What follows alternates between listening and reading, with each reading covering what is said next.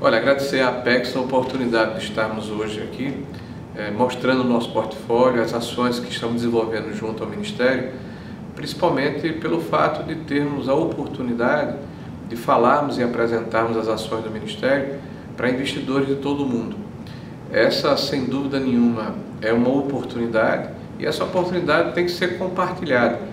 O Ministério tem ações é, principalmente ligadas à questão é, da mobilidade urbana, da habitação, mas em especial, e essa é a grande novidade, é, o saneamento básico. O novo marco vai permitir que a iniciativa privada possa se associar ao governo nesse desafio que é de todos nós, universalizar o atendimento ao tratamento de esgoto e a água potável até 2033.